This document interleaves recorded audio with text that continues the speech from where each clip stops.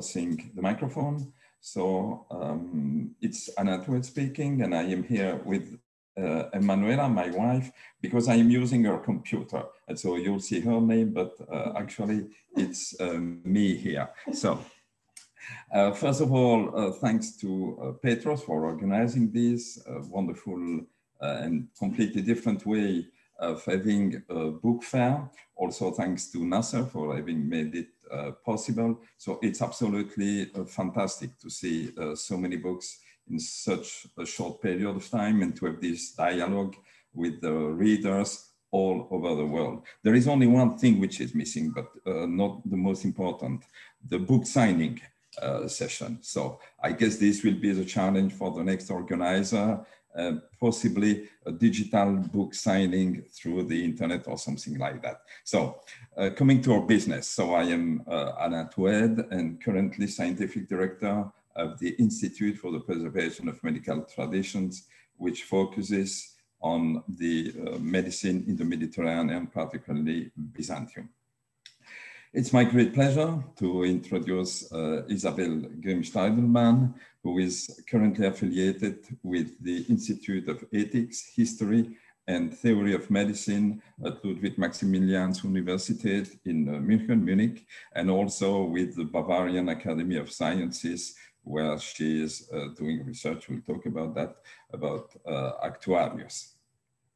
She has a long itinerary in the uh, academia with, uh, in 1993, uh, Magister Artium in Egyptology. And this is indeed a first background and it's absolutely relevant today because uh, our book is about uh, Egyptian magic, magic in Byzantine medicine. And for 11 years between 93 and 2004, she worked with uh, Professor Armin Hohlweg in uh, Byzantine studies, specifically history of Byzantine medicine, and this culminated with a PhD thesis in 2006 with the critical edition of a, a treatise by Theophilus Protospatarios, uh, the treatise on the making of the uh, human body, which is still unpublished, but available for free on the internet. And so she uh, worked in the meantime on multiple projects, uh, so including exhibitions on Byzantine medicine, of course, but also on Egyptology and more generally the ancient work because she has a knowledge of multiple languages, ancient languages, of course, uh, hieroglyphic Egyptian, but also Armenian, Coptic, Hebrew, and being a classical philologist, Latin, of course, and Greek from classical to modern. More recently, in 2017, she presented her habilitation in uh, history of medicine at the medical faculty of uh, the Ludwig Maximilians University with her research on iatromagic in Byzantine medicine. And this is a book we'll be uh, talking about here. I have it. So you'll see a monumental uh, thing. She makes a compelling case about the presence of Egyptian magic in Byzantine medicine. And globally speaking, what she's interested in is the migration of physicians and the scientific dialogue and intellectual exchanges in Byzantium and post-Byzantine time, transcultural tradition, and which is the point of our book here, the question of patient-related uh, medicine in Byzantium. And so this is a concept which is relatively recent in the history of medicine because it developed over the past decades of the 20th century, particularly in the context of the uh, epidemic pandemic of that time, which was uh, uh, HIV. And so uh, that's one of uh, uh, points of interest, which is very relevant for the book we'll be discussing here. And so coming to the book, she focuses on the sixth century physician Alexander of uh, Tralles, and through the study of the presence of uh, magic in uh, his work, she expands the concept of medicine because of this integration of forms of medicine which are not strictly Galenic, so she uh, focuses on the practices, operativity, and possible efficacy of different forms of medicine. And this is how she introduced, among other, the concept of the placebo effect, which is the psychological factor in the process of therapeutics. And by doing that, there is a process of de-rationalizing uh, medicine, which is, as she said, sees it, a sort of low intensity anti-Galenism. And so she suggests that there is a shift in medicine from the physicians and their training to the patients and their complex experience and possible knowledge of both disease and the therapeutic process. This is the uh, long distance view of her book, and now I'll let her explain the intricacies and all the elements of uh, thesis. And I repeat, she makes really accompanying cases about the presence of Egyptian magic in Byzantine medicine. Isabel, the microphone is uh, to you. Thank you so much, Alain, for this uh, kind and this very info informative and kind uh, um, introduction. And let me also thank you, Petros, for having organized and created this wonderful um, event, this wonderful network, and also many thanks to NASA for keeping it running and uh, to all of you for being part of it.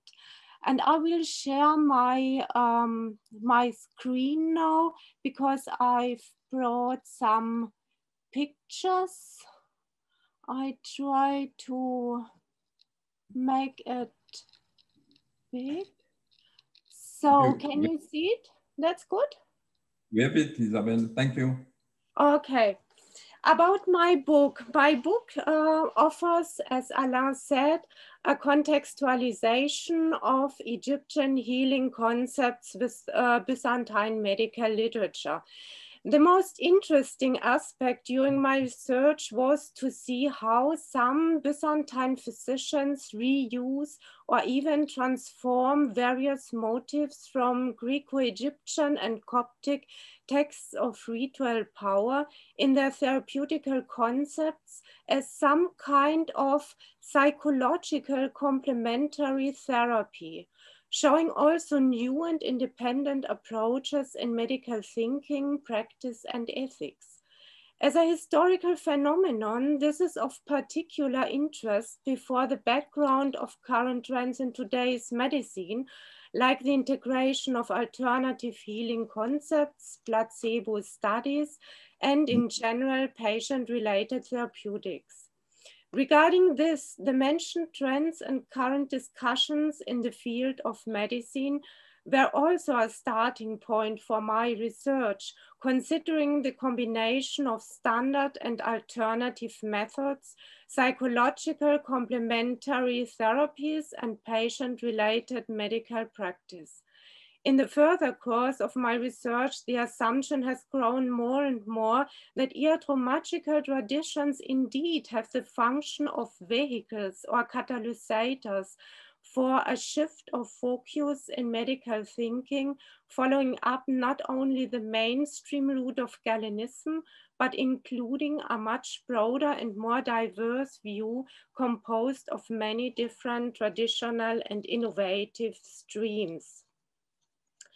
The volume includes a detailed analysis of the underlying source situation, comprising hieroglyphic, Greco-Egyptian and Coptic texts of ritual power, showing the continuous development of authentic Egyptian motifs before a syncretistic and transcultural background.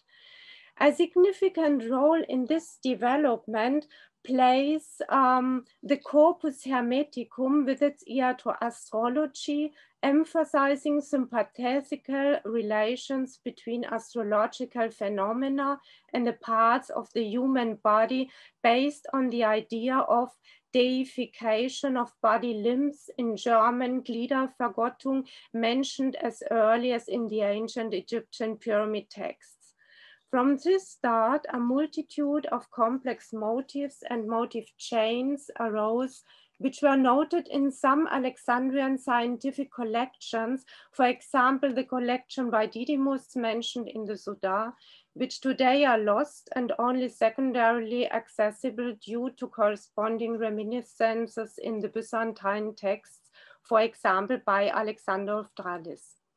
Such concepts of mutually interdepending sympathies and antipathies governing the universe and being reflected in the natural properties of all living beings, animals, plants, minerals, but also human beings, mark the beginning of a long lasting tradition whose different steps of reception and individual adaptation are characterized by late antique compilations, such as the mentioned Hermetic writings, but also the Physiologus and the Hieroglyphica of Apollon, and especially important during Byzantine times, Cyranides and the Testamentum Salomonis. In the context of Byzantine medicine, 6th century physician Alexander of Tralles shows in his uh, Therapeutica dealing with the pathology of internal diseases an unique approach towards iatromagical therapies, understanding them not as superstition, but as empirical proved natural remedies. Moreover, as a result of his very moderate uh, criticism of some Galenic maxims, the combination of these natural remedies with the usual uh, rational healing methods led to the development of a special kind of a personal commitment, um, kind of medical ethics or medical deontology, aiming to benefit the patient in every way and with all available means, even if they are in some way slightly unconventional and even if they are contradicting Galen's maxims. Being able to assist the patient is uh, rather more than building up a corpus of medical theory. That's the thing behind. In this uh, context, Alexander cites a number of different sources and specialist literature and takes into account oral ethnopharmacological traditions as well, combining conventional and iatromagical therapeutics which are supported by individually gained empirical knowledge, as well as scientific critique of sources and the implementation of ethical principles. The central part of the volume is dedicated to detailed analysis of various iatromagical motives in context with different symptoms a capita ad calcem, for example, headaches, affection of the eyes and other sensory organs, gastroenterological diseases, arthritic sufferings, epileptical disorders, and gynecological problems, describing the Egyptian origins and elaborating steps of their development and transformation from the Greco-Egyptian and Coptic texts of ritual power into late antique compilations like Cyranides and Testamentum Salomonis. And finally, finding the ways of uh, integration in Byzantine medical texts. In all these iatromagic concepts, certain animal species are playing significant roles. On the one hand, repeatedly encountered as a medium of ritual uh, transplantatio morbi, on the other hand, parts of them being ingredients in recipes and amulets. Almost all these animals refer to the animal incarnations of Egyptian deities.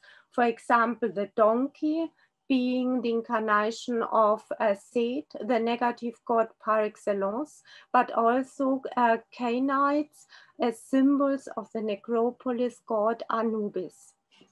In addition, Egyptian myth circles are of great importance either, especially those centered around the youthful god Horus, whose qualities as savior of the world always appearing victorious over all negative powers, demons, and dangerous animals, were easily put in analogy to Christ. Furthermore, Horus also embodies the ideal and transcendental model patient whose mythological healing exemplifies the analogous healing of the human and terrestrial patient. Concluding with the genre of late and Byzantine iatrosophia, they also are full of iatromagical therapies, but mixing them up with folklore and traditional healing. Some Egyptian motifs still are active and traceable, but in a much more transformed and modified manner. For example, melothetic colic amulets linked with the decanal deity Chnumis or former Knubis, water rituals, and some sorts of amulets against fever using olive leaves as substrate or uterus amulets like here, this is a bad copy, sorry for this. Um, appearing archaic spells, their roots could be traced back as far as Egyptian uh, mythology. Finally, one might assume that the incorporation of iatromagical motifs into Byzantine medicine initiates step by step the detachment from an uh, theoretical Galenismo uh, stricto sensu in favor of the optimization of practical healing based on holistic therapeutical concepts. And for concluding, finally, let me say two words uh, to the new series of Byzantinisches Archiv, Series Medica, which intends to create a multilingual forum for research on Byzantine medicine uh, with publishing critical editions, source-based analysis of Byzantine medical literature, and conference volumes. And with this, many thanks for your attention, and I'm happy to hear your questions.